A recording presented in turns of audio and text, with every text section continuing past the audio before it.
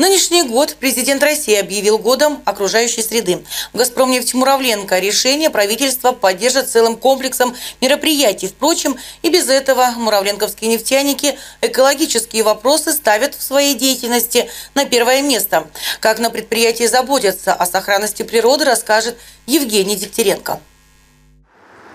Принцип экологической безопасности – один из основополагающих деятельности компании «Газпромнефть», уверяют муравленковские нефтяники. Начальник отдела экологической безопасности и охраны окружающей среды «Газпромнефть Муравленко» Виолетта Сафарова отмечает, год экологии, объявленный российским правительством, на предприятии поддержат реальными делами. «Газпромнефть Муравленко», как дочернее общество, ставит перед собой задачу минимизации э, рисков эколого-экономических от э, осуществления своей деятельности и э, снижения негативного воздействия на охрану окружающей среды, на экологию.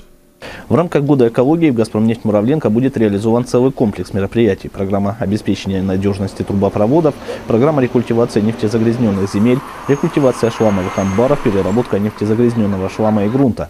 Кроме того, муравленковские нефтяники успешно реализуют программу по утилизации попутного нефтяного газа. На этот год мы запланировали 52 гектара нефтезагрязненных земель рекультивировать.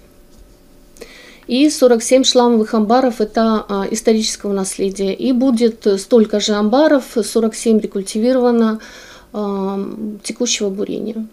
20 тысяч кубометров нефтезагрязненного шлама и грунта переработают на специальных установках. Объемы работ, говорят экологи «Газпромнефть Муравленко» масштабные. Главная задача – нефтяники после себя должны оставить не грязный шлейф мазута, а вернуть природе Земли первозданное состояние.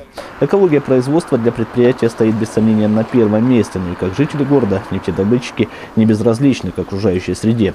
Поддержат «Газпромнефть Муравленко» и общегородские экологические акции. В нынешнем году планируется провести несколько субботников по очистке от мусора мест массового отдыха горожан. Первая акция намечена на 5 июня, когда в России будут отмечать День экологии.